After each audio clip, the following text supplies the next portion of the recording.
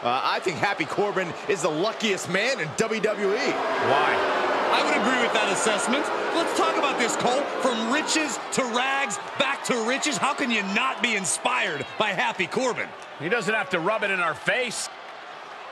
The following contest is scheduled for one fall. Making his way to the ring from Kansas City, weighing in at 275 pounds, Happy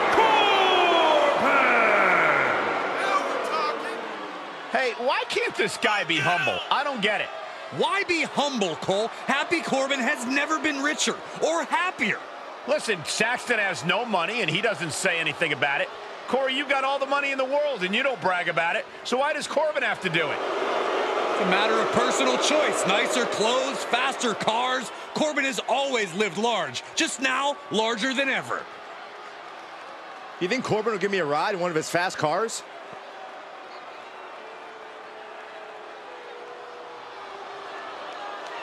The age of Alexander continues. And his opponent from Charlotte, North Carolina, weighing in at 200 pounds, Cedric Alexander! Obviously, this man's grown cocky. He doesn't respect the locker room veterans.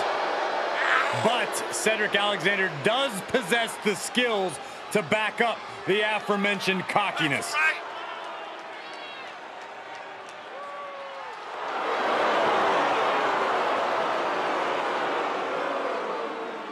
Cedric Alexander, former Cruiserweight champion, former Raw Tag Team champion. And listen, he's got a bright future.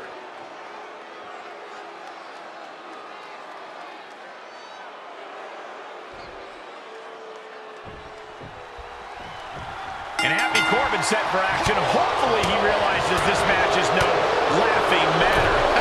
oh, come on, Cole. They say laughter's the best medicine, and Happy Corbin has never been healthier. Change here with this matchup. Corbin is a vicious competitor, but he's had issues with keeping his eye on from the top. Elbow drop. Good Lord.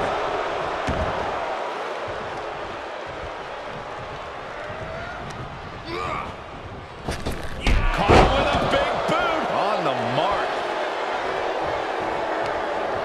Placing them right where they want them, into the corner.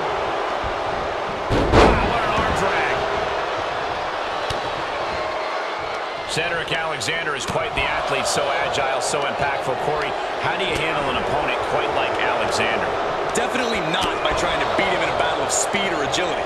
Instead, you need to dictate the pace. Slow things down so Cedric can't get into the rhythm he wants. Can't get the control that he wants. Corbin fights back. Dropped him with a big shoulder tackle. Stomping down.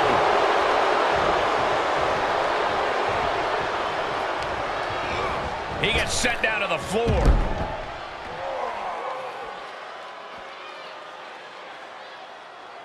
Oh, yeah. Let's just all take a moment to truly appreciate and embrace his presence.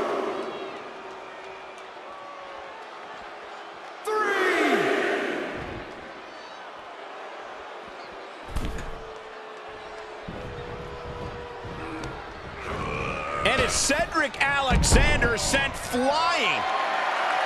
From the top. Good Lord, taking flight. And that was a collision you don't want to be on the receiving end of. Came down like a wrecking ball on a cinder block. Wow, what an arm drag. Here he comes, sliding back in.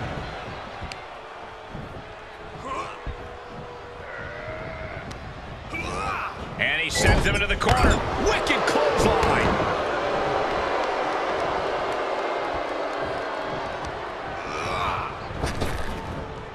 Deep six from the lone wolf.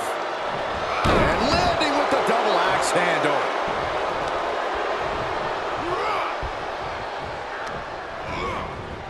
Pulling him in for the breaker. Right to the lower back.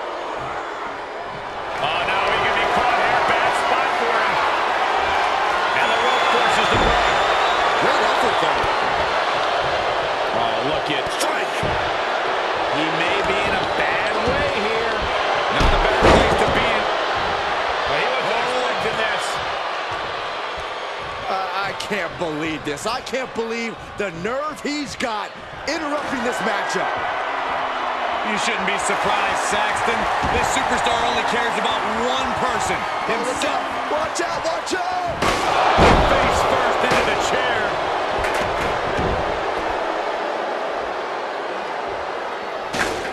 For the pin and the win! Yes! He breaks the ref's count after one. What a gutsy performance.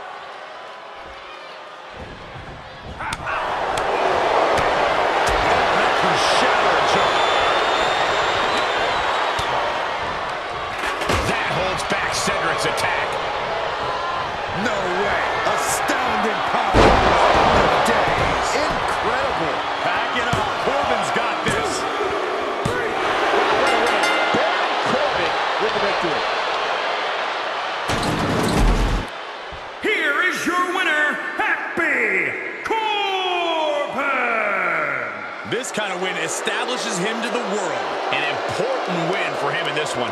The Queen City's favorite son will never break through if he keeps collecting losses